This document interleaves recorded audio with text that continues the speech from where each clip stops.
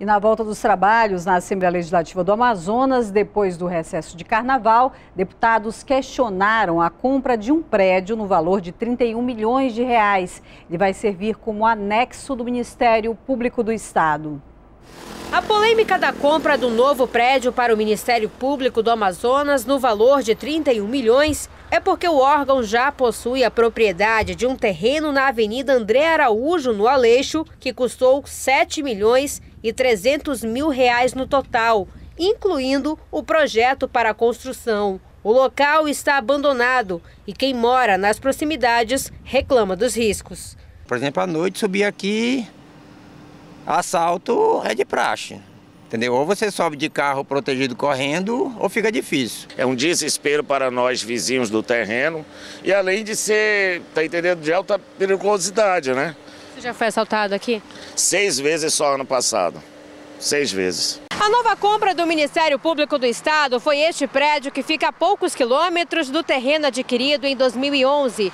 De acordo com o órgão, 80 promotorias devem ocupar a unidade. A intenção do MPE é economizar um milhão de reais por ano, valor que é gasto em imóveis alugados. O Procurador-Geral de Justiça foi convidado a esclarecer aos parlamentares sobre a negociação do prédio e apenas um documento foi enviado esclarecendo o motivo da compra. O doutor Fábio virá aqui, ele preferiu fazer nesta modalidade. Primeiro ele trouxe o documento para o deputado dar uma olhada, uma estudada, e depois cada um que tiver o que questionar vai fazer isso publicamente a ele aqui, quando ele voltar à Assembleia, que eu acho que nessa semana. É uma, um exercício do parlamento, né? o direito dele, de todos, todos que estão aqui também, é, em busca de informações. Então, o que está se colocando aqui é o que foi noticiado.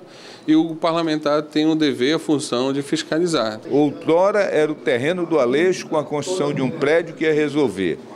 Agora, isso, quatro anos depois, foi abandonado e a solução é comprar este prédio. Quem garante que daqui a oito meses, quando entrar o novo procurador, ele não resolva comprar um outro prédio? Nós estamos falando de dinheiro público. E dinheiro público não pode ser assim. Outro assunto comentado durante a sessão desta terça-feira na Assembleia Legislativa foi a construção de um muro na casa do governador Amazonino Mendes, que fica às margens do rio Tarumã. Deputados da oposição entraram com requerimento pedindo esclarecimento sobre a obra. Então, a obra da casa do Amazonino é, é uma obra que não é barata. Coincidentemente, ela está sendo feita no período em que ele é governador e por uma empresa que tem contratos no governo do estado. O governador se pronunciou por meio das redes sociais e disse que a obra é legalizada e que tudo está sendo feito às claras. O muro que está fazendo na minha casa é um muro que eu estou é, continuando a fazer, que é uma coisa antiga, porque está um desbarrancamento para proteção da, da, da contrato assinado, registrado em cartório. Os venezuelanos continuam chegando aqui em Manaus. Agora, a maioria é não indígena, que fogem lá da crise no país vizinho e vêm à procura de trabalho. O acolhimento é feito pela Caritas, ligada à Arquidiocese de Manaus. A sala de espera tem ficado assim todos os dias. Os venezuelanos chegam em busca de ajuda, ainda com as malas, sem muita informação. Pedro trabalha na construção civil, está à procura de emprego. Ele diz que veio ao Brasil tentar mudar de vida, mas não tem sido fácil. Ah, e que está muito difícil. Quem tem acolhido os venezuelanos no Amazonas é a Caritas, uma entidade de promoção social que defende os direitos humanos.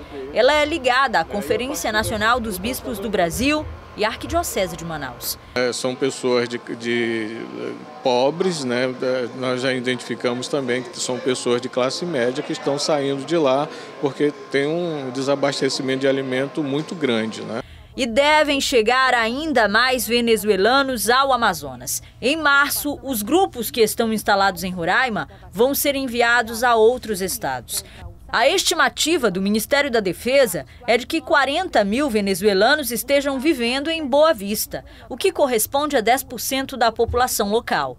Já em Manaus, eles começaram a chegar em 2016, a maioria indígenas da etnia Uarau, como esse casal que tem se virado para comprar comida.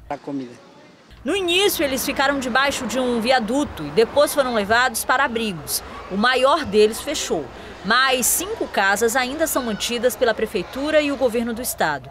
Essa é uma delas. Eles permitiram nossa entrada, mas a gente só pôde ir até a cozinha. Essa aqui é a cozinha improvisada dos venezuelanos. Os fogões são assim no chão mesmo. É onde eles preparam almoço e jantar todos os dias. Só que nem sempre tem comida. E aqui vivem 50 indígenas da etnia Uarau. Cada família tem horário para usar o fogão. Heitor conseguiu arroz e ovos. É o que ele e a mulher vão comer. Ele também diz que não tem sido fácil, mas pelo menos os governos têm ajudado com alimentação e moradia. Muitos dos indígenas que vivem em Manaus não trabalham. Por isso é fácil vê-los pedindo nas ruas.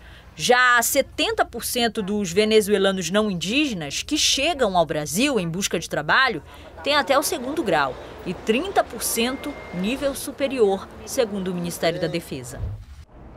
No próximo bloco, os números de pessoas que usam ônibus em Manaus diminuiu 20%, segundo o Sinetran. Os motivos? A gente conta já já.